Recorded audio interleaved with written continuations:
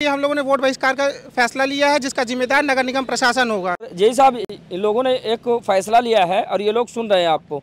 हाँ, हाँ। इस समस्या को लेकर इन लोगों ने वोट बहिष्कार का जो है ऐलान किया है। अरे नहीं इतनी बड़ी समस्या नहीं है भाई ये। अभी देखिएगा जेसीबी से निकलवा देते। पहले हम जेटिंग मशीन सोच रहे थे लेकिन वो मिल नहीं पाई तो हमने कहा जेसीबी समस्या दूर हो बहुत खतरनाक स्थिति हम खुद जान रहे हैं। जी। मैं गया हुआ था देखने अभी मौके पर। जी। हो जाएगा अभी दूर हो जाएगा। क्या हम लोग घर छोड़ छोड़ के हम लोग पलायन होने की स्थिति- आ गई है? ऊपर से लोगों ने घर छोड़ दिया है। बगल में आप देखिए ताला लगा हुआ है। हाँ हाँ। ताला अलग अलग अलग घर छोड़ने पे मजबूर हो गए हैं हाँ और नगर निगम सुनने का प्रयास बिल्कुल नहीं कर रहा। अगर हो गया काम तो ही वोट देंगे नहीं तो मैं वोट नहीं दूँगा। मेरे घर में कम से कम दस बारह वोट है। वोट नहीं देंगे। नहीं दूँगा क्योंकि डेली अब घर में माता पिता जी लोग कहाँ कहाँ पूरा मोहल्ला घूम के तब तो जाके घर में पहुँचते हैं। अब यहाँ से देखिए सामने कितना रास्ता है। तो नमस्कार दोस्तों मैं हूँ आर के स्वागत करता हूँ आप सबका दर्शक न्यूज़ ट्वेंटी फोर में। बता दें कि इस वक्त हम प्रयागराज के नैनी क्षेत्र अंतर्गत नैनी सेंट्रल जेल के समीप अ, अंबेडकर नगर में मौजूद हैं। और बता दें कि लोकसभा चुनाव 2024 की हलचल तो चल ही रही है। ऐसे में प्रयागराज की अगर बात की जाए तो आने वाली 25 मई को यहाँ का छठवें चरण का मतदान है। तो ऐसे में तमाम जो राजनीतिक दल के नेता हैं वो गली गलियारों में घूम रहे हैं और लोगों से वोट की अपील कर रहे हैं। तो अंबेडकर नगर से कुछ ऐसी हैरान कर देने वाली तस्वीरें हम आप लोगों को दिखाने वाले हैं, जिन्हें देखकर आप हकीकत में हैरान हो जाएँगे, परेशान हो जाएँगे कि आखिरकार नेताजी अब किन गलियों से होकर वोट मांगने के लिए जाएँगे।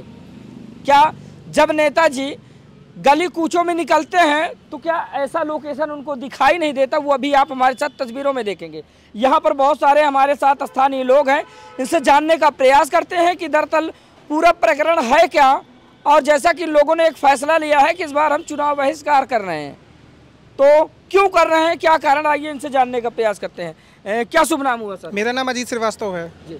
आज क्यों हमें बुलाया गया? बुलाने का क्या मकसद सबसे बड़ी समस्या हमारी ये नाली की है। नाली की। नाली का गंदा पानी हमारे घरों में घुस रहा है हाँ। जिससे हम लोग जीना दुभर हो गया है। हाँ, हाँ। घरों के नाला घर के सामने गंदा पानी होने के कारण मच्छर मलेरिया की जैसी बीमारियाँ फैल रही हैं हमारे घरों में जिसका समाधान कोई नहीं कर रहा है। जिसके संबंध में हम लोगों ने नगर निगम प्रशासन को भी सूचना दी हुई है लेकिन नगर निगम प्रशासन भी झांकने को नहीं आ रहा है।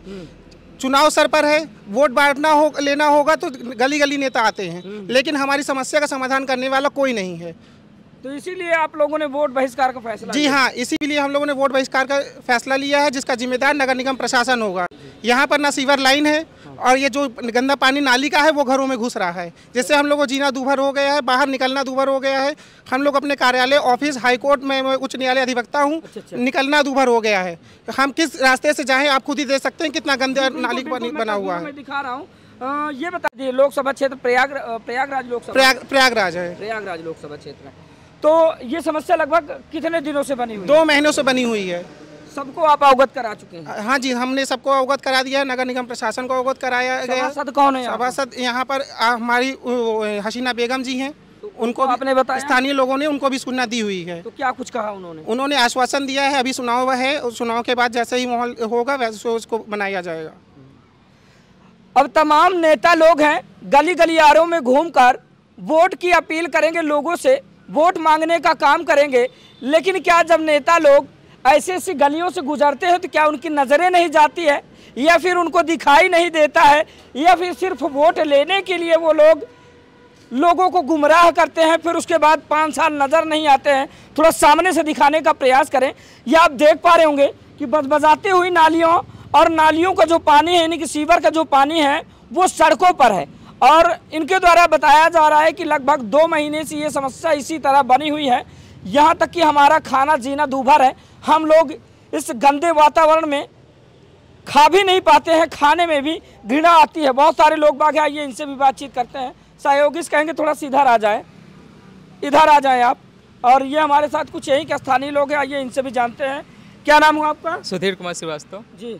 सुधीर जी क्या कुछ मामला है? मामला ये है कि पानी दो महीने से निकल नहीं पा रहा है। पूरा गंदा जो पानी नाली का है हाँ। वो पूरे घरों में हम लोग को घुस चुका है। हाँ, हाँ। ठीक है जिससे क्या हम लोग घर छोड़ छोड़ के हम लोग पलायन होने की स्थिति- आ गई है। ऊपर से लोगों ने घर छोड़ दिया है। बगल में आप देखिए ताला लगा हुआ है। हाँ, ताला लगा लगा घर छोड़ने पर मजबूर हो गए हैं और नगर निगम सुनने का प्रयास बिल्कुल नहीं कर रहा है। नगर निगम को आपने नगर निगम आर के मिश्रा को कितनी बार कॉल किया गया है वो हवा वाली दे रहे हैं और सुपरवाइजर उनके हैं। शिवमंगल जी उनको फ़ोन करो तो वो कहते हैं मेरा मामला नहीं है जेई का मामला है जेई समझेंगे और उसके बाद कहते हैं इंजीनियर समझेगा। हाँ। हम किसके पास जाएँ? डीएम पास भी एप्लीकेशन हम लोग दे चुके हैं ऑलरेडी तो पहले से। फ़ोन किया? जे पास फ़ोन किया गया है। क्या कहें? वो भी नहीं सुन रहे हैं। नहीं सुन रहे। चलिए एक बार मैं कॉल करता हूँ देखता हूँ कि जय साहब के क्या कहने हैं। और आखिरकार क्यों लोगों को इस गंदे वातावरण का सामना करना पड़ रहा है? वेल जा रही है।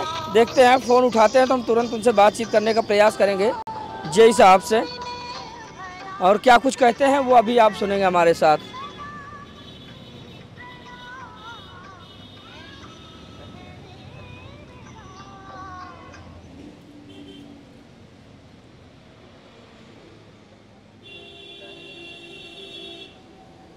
ऐसे हैं गैर जिम्मेदार अधिकारी।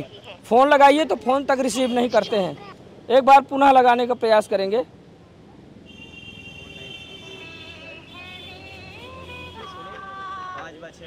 हेलो। हेलो। जी नमस्कार सर। हाँ आर के निषाद बोल रहा हूँ दर्शक न्यूज़ ट्वेंटी फोर से। हाँ बोल रहा हूँ। क्या मेरी बात जय साहब से हो रही है? हाँ जय साहब इस समय हम आपके क्षेत्र के अ, अंबेडकर नगर में मौजूद है। दोपहर में जेसीबी आ रही है अभी आज समस्या दूर हो जाएगी वहाँ की। जैसा कि लोगों ने मुझे बुलाया मौके पर आकर मैंने देखा कि इनका जो गली मोहल्ला है वो गंदे पानियों से पूरी तरह से लबालब है। आज अभी जेसीबी आ रही है अभी पाइप उखड़वा के निकलवा दिया जाएगा पानी बिल्कुल। तो क्या आज इनकी समस्या का समाधान हो जाएगा? वन परसेंट हाँ। और जय साहब इन लोगों ने एक फैसला लिया है और ये लोग सुन रहे हैं आपको। हाँ हाँ। इस समस्या को लेकर इन लोगों ने वोट बहिष्कार का जो है ऐलान किया है। अरे नहीं इतनी बड़ी समस्या नहीं है भाई जी। अभी देखिएगा जेसीबी से निकलवा देते पहले हम जेटिंग मशीन सोच रहे थे लेकिन वो मिल नहीं पाई तो हमने कहा जेसीबी समस्या दूर हो बहुत खतरनाक स्थिति है, हम खुद जान रहे हैं। जी। मैं गया हुआ था देखने अभी मौके पर। जी। हो जाएगा अभी दूर हो जाएगा। ठीक है इनकी समस्या का समाधान तत्काल करें यही आग्रह है मेरी आपसे। ठीक ठीक ठीक ठीक। ओके थैंक यू दोपहर बाद तक हो जाएगा। ओके ओके थैंक यू ये थे जय साहब। तो जय साहब से हमारी बात हो चुकी है। अब देखना यह होगा कि जय साहब कितनी अपनी निष्ठा निभाते हैं लोगों के प्रति। जैसा कि लोगों ने फैसला तो लिया है कि हम वोट बहिष्कार करेंगे तो क्या हकीकत में अब जय साहब इस समस्या का निदान करवाएँगे? अगर इसके बावजूद इस समस्या का निदान नहीं होता है तो इसके जिम्मेवार नगर निगम प्रशासन और जय साहब होंगे। जैसा कि जय साहब ने कहा भी है कि इतना बड़ा फैसला ये लोग लिए हैं।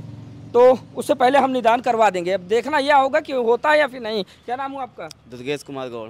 दुर्गेश कुमार। कब से इस समस्या का सामना कर रहे हैं आप लोग? ये तो हो गया करीब डेढ़ दो महीने से ज़्यादा। दो महीने से ज़्यादा। अब घर में पूरा लैट्रिन का पूरा मलबा भरा हुआ है। अभी साफ़ करके बस तुरंत आ रहे। हैं। आपने सुना जी साहब से बात जी जी। उन्होंने आश्वासन दे दिया है। तो क्या देख लेते हैं, आश्वासन तो डेली दिया जा रहा है कि आज हो जाएगा कल हो जाएगा आज हो जाएगा। अब आज भी देख लेते हैं बारह बजने में भी कोई समय ज़्यादा बीता नहीं है। एक घंटे बाद बारह बज जाएँगे पौने ग्यारह हो रहा है। देख लेते हैं बारह एक बजे तक। अगर हो गया काम तो ही वोट देंगे नहीं तो मैं वोट नहीं दूँगा। मेरे घर में कम से कम दस बारह वोट है। वोट नहीं देंगे। नहीं दूँगा क्योंकि डेली अब घर में माता पिताजी लोग कहाँ कहाँ पूरा मोहल्ला घूम के तब तो जाके घर में पहुँचते हैं। अब यहाँ से देखिए सामने कितना रास्ता है। आपका क्या नाम हुआ? हैं। कब से इस समस्या का सामना कर रहे हैं? दो महीने से सर। कैसी कैसी समस्याएँ देखने को हैं कैसे कैसे घर में पानी जा रहा है अंदर से हम लोग पानी अंतर से ले आ रहे हैं जेल मंदिर से ले आ रहे हैं दुरिया दुरिया से ले आ रहे हैं आन के घर में से गंदा पानी हाँ गंदा पानी है। सब ऐसे लड़के ना पानी में से आ जा रहे हैं छोटे छोटे बच्चे ने देखिए बच्चे छोटे छोटे हैं सब अपन नाली में से आ जा रहे हैं सब। आपका क्या नाम हुआ? अमिता गौड़ नाम है। दो महीने से पानी को दिक्कत है। यहाँ पे कितना गंदा पानी सीवर का भरा हुआ है। हम लोग कितना दिक्कत हो रही है खाने पीने के बच्चे निकल नहीं पा रहे जेल मंदिर से पानी भरते हैं पूरे कमरे में गंदगी जा रहा है। पूरा लाइटिंग वाइटिंग सब बह रहा है। चलिए ठीक है। आइए मैं आप लोगों को दिखाता हूँ। थोड़ा सा यहाँ से आप देखेंगे कि ये बदबजाती हुई नालियाँ आमतौर पर इस गली से कोई नहीं गुजरना चाहेंगे।